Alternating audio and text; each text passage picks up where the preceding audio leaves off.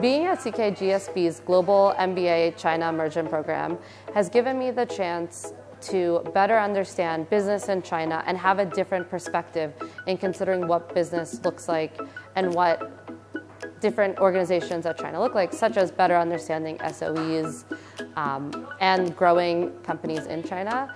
And that's a perspective that I wouldn't have had a chance to get to experience at my MBA.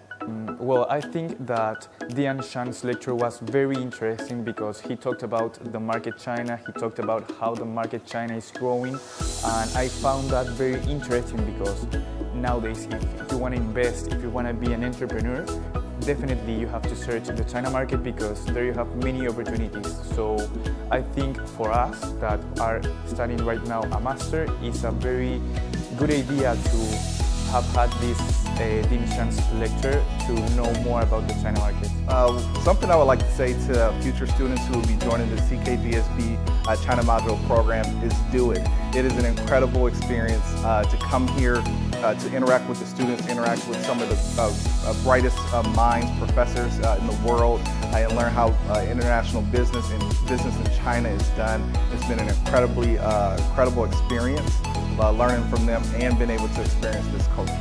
We've had the privilege to listen to Dean Xiang for an entire day. And I know he's very busy, so it's an absolute privilege to hear his insights, both from the East and the West as well.